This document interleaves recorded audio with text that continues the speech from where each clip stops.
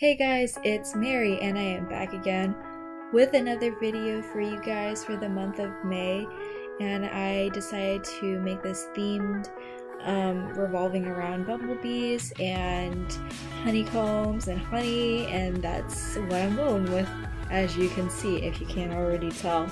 Um, I'm going in with my micron pen. Oh and before I start delving in more um, on the process uh, I will be linking everything that I am using down in the description box below as I mention things on its way. Um, but yeah, I'm using my Micron 05 version with the 0.45 millimeter tip, I believe, um, to ink everything in the May spread or the May cover page. I'm sorry. And yeah, if you guys, um, I don't know if this audio will come out sounding well to you guys or if it sounds a little different it's because I long story short I had to basically factory reset my laptop and it had to be done because of um, constant like uh, browser pop-ups saying that I my laptop is infested with like malware or not malware but like infections or viruses and whatnot. So and it wouldn't stop even though I kept closing the tab down. I didn't like click it on anything. But yeah, long story short, I had to do that and I had to reinstall all of my equipment for my recording in uh, my Vegas and my, uh, my Audacity recording software. So yeah, very sad day, but that's okay because I'm working with what I have.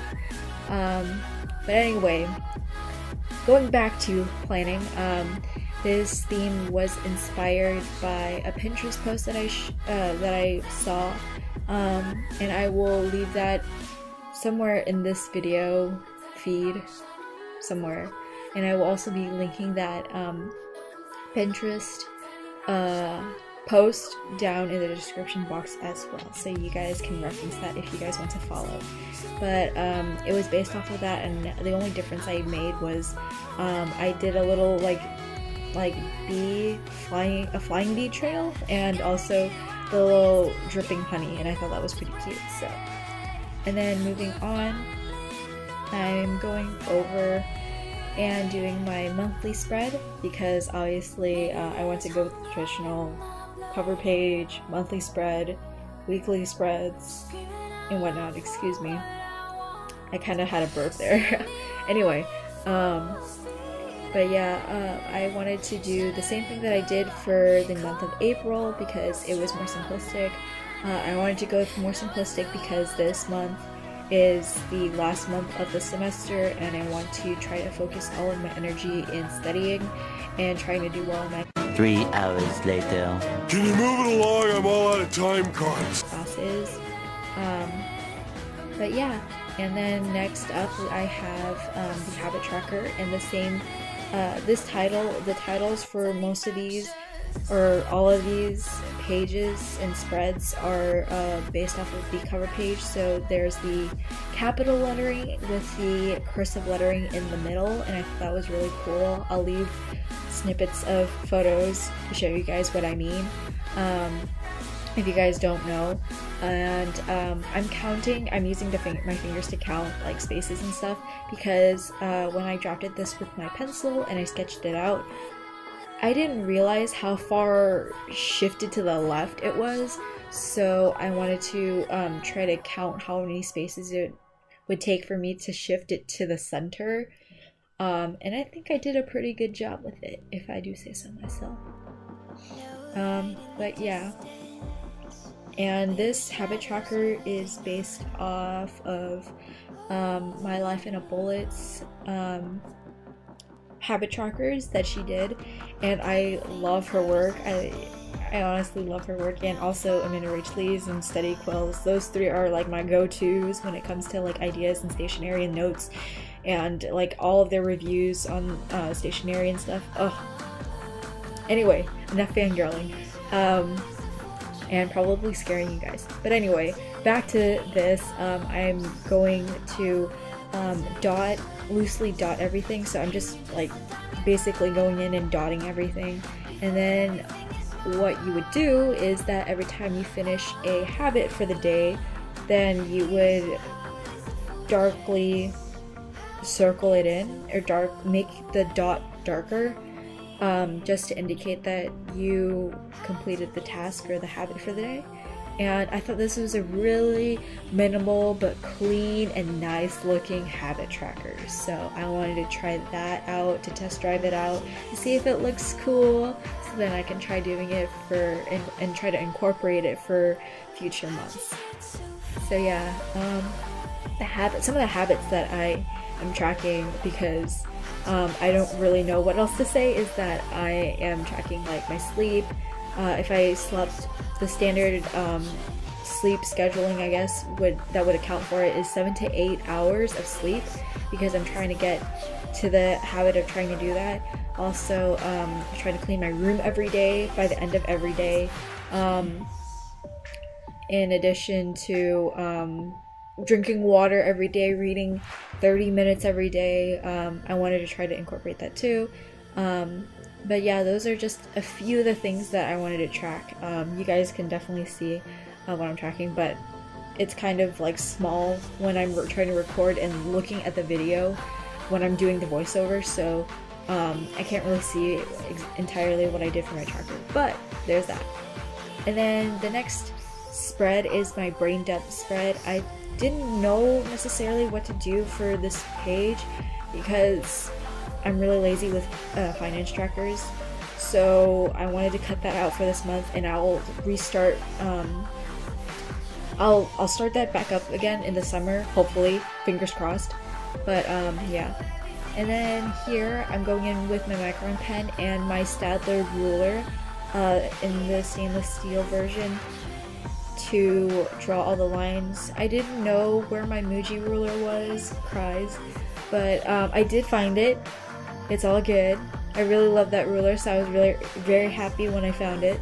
Um, but yeah, so I'm going in with my Micron uh, 05 in this um, case.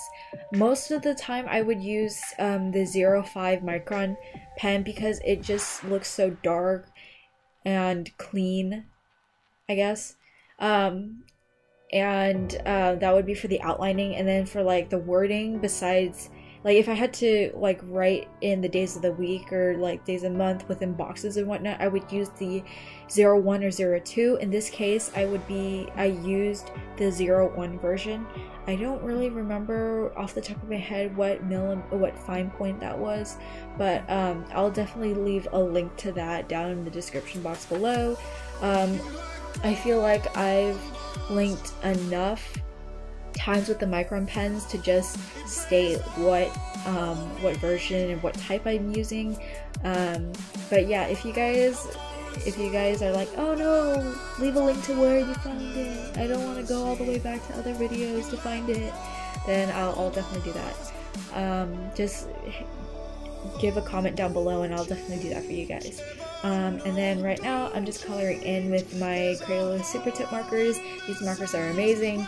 Um, they're good for on budget, trying to decorate stuff if you're trying to do it on a budget for bullet journalers. So definitely go check that out if you guys are interested in that. Um, but yeah, I'm going in with various shades of yellow and trying to mismatch and kind of make it look more honeycomb like, if that makes sense. Um, and then I do have the little bees um, on there. Uh, but yeah, I can't believe it's already May, and it's already like close to the end of the semester for me. Like it's crazy. Like I know some of my friends, some of my quarter friends, um, they they are like on, on a quarter system. I don't know why I just stuttered right there, but um, anyway, uh, I they don't even finish until like the mid middle of June, so I feel sorry for them. I'm sorry for you guys who are in the quarter system as well. Hang in there, you'll make it, you'll do well on your finals. I wish you guys all the best in that. But yeah, for to my fellow students, college student friends, wherever you may be watching. Um, but yeah, and then I'm going back in with the um, erasing, I guess.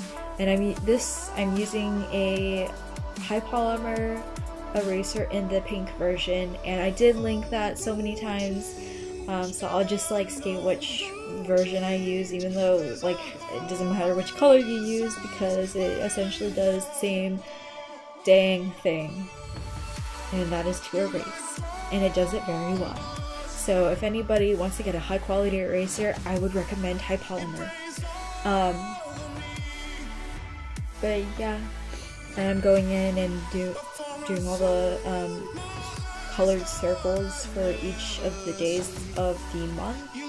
And I'm also um, using my Scotch Bumblebee Honeycomb um, washi tape because I didn't I didn't have a use for that until now and I'm very happy that I have a use for it because it was just sitting in my pouch just waiting to for it to be used. And I'm just using some kitty scissors. I can't really tell you guys which ones I'm using. They're just basic kid scissors.